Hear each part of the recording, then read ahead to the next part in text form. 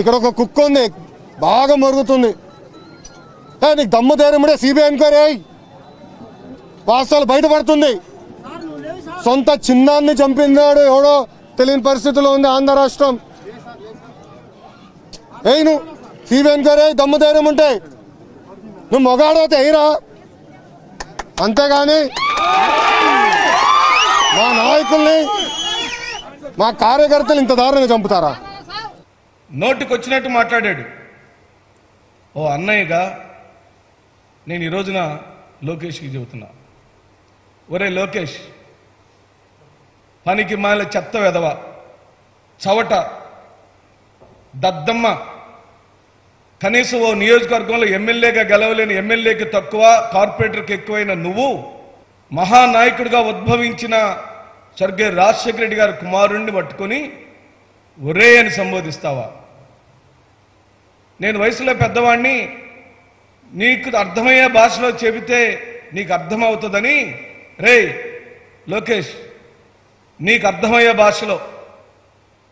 ఒరే చవట ఒరే దద్దమ్మ ఒరే పనికి మాలినవాడ ఒరే వెధవ ఈ పదాలన్నిటికీ కావాలంటే నిఘంటువులు ఏమర్థం వస్తాయో? నీ స్క్రిప్ట్ రాసే రచయితలతో స్క్రిప్ట్లో పదాలకి అర్థాలు తెలుసుకోరా? ఓ రాష్ట్ర ముఖ్యమంత్రిని పట్టుకొని ఓ ప్రజానాయకుడిని పట్టుకొని ఒరే అని సంబోధించిన బుద్ధిహీనుడా? అయ్యా జగన్ రెడ్డి గుర్తుపెట్టుకో. అందరికన్నా నీకే బాగా తెలుసు. కత్తితో బతికేవాడు కత్తితో రా- రాజకీయాలు చేసేవాడు చివరిగా కత్తితోనే సస్తాడు. గుర్తుపెట్టుకో జగన్ రెడ్డి అని ఈ సభాముఖంగా హెచ్చరిక జారీ చేస్తున్నా. నువ్వేమంటావు? కత్తి పట్టుకున్నవారు కత్తితోనే చచ్చిపోతారా? ఒరేయ్ మీ మామ హైదరాబాద్లో తుపాకీ పేల్చాడు కదా.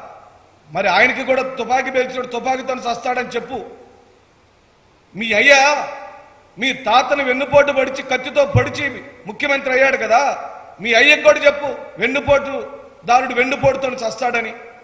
ప్రజాబలంతో ఎదిగిన నాయకుడిని నువ్వు తోలనాడి నువ్వేదో పాపులర్ అవుదాం అనుకుంటున్నావేమో ఇప్పటికే నీకు పిచ్చ పాపులారిటీ వచ్చింది పప్పు అనే పదంతో. ఓ పనికి మాలిన రాజకీయ నాయకుడితో ఓ దిశ నిర్దేశం లేని రాజకీయాలతో.